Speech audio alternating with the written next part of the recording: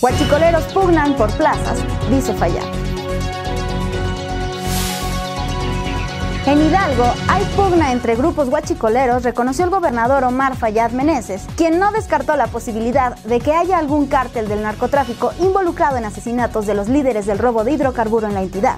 El mandatario estatal indicó que con base en información de la Procuraduría General de Justicia de Hidalgo y de las Secretarías de Seguridad Pública del Estado y Federal, existen varios objetivos plenamente identificados por el hurto de combustible.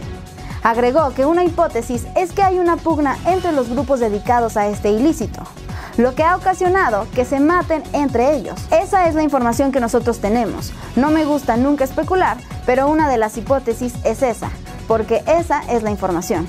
Estos grupos de ordeñadores están peleándose, digamos, la plaza y entonces se han dado entre ellos, mencionó durante una conferencia de prensa que ofreció ayer.